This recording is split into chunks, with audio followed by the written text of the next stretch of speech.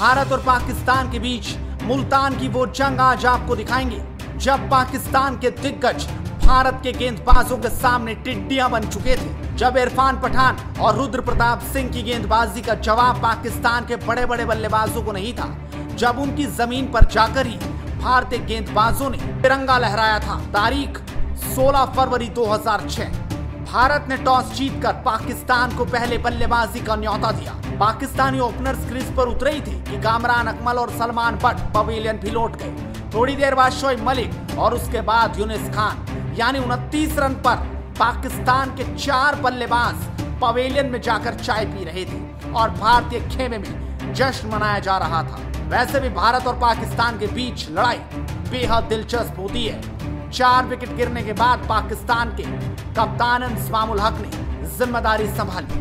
दरअसल शुरुआती झटके तो इरफान पठान ने दे ही दिए थे, जब शोएब मलिक कामरान अकमल को चलता कर दिया। वहीं श्रीशंत और रुद्र प्रताप सिंह ने भी पाकिस्तान की कमर तोड़ दी। दिग्गज बल्लेबाज यूनिस खान को खाता भी नहीं खोलने दिया और पहली गेंद पर एलपीडब्ल्यू कर दिया। उसके बाद इंजमाम उलक और मोहम्मद यूसुफ ने अपनी टीम का स्कोर कुछ तेज़ी से आगे तो बढ़ाया, लेकिन सौ रनों के पार नहीं जा पाया। और सत्तानवे रनों पर ही मोहम्मद यूसुफ भी पवेलियन में जाकर अपने रखे बर्गर को खाने पहुँच गए। उसके बाद तेंदुलकर की घूमती गेंदों ने इंसमाम उलक को भी एलपीडब्ल्यू कर दिया और भारतीय खेमे में खुशी की लहर दौड़ गई। यानी कि पाकिस्तान की पूरी टीम देखते ही देखते 50 ओवर भी नहीं खेल पाई और इकतालीस दशमलव पाँच ओवर में एक सौ इकसठ रन पर सिमट गई। इस मुकाबले में रुद्र प्रताप सिंह ने चार तो इरफान पठान ने तीन बेहद कीमती विकेट लिए और इस तरीके से पाकिस्तान की टीम एक सौ इकसठ रन बना चुकी जवाब में भारतीय टीम एक सौ बासठ का लक्ष्य लेकर उठी, लेकिन शुरुआत खराब रही। टीम इंडिया का स्कोर पाँच ही हुआ था कि तेंदुलकर बिना खाता खोले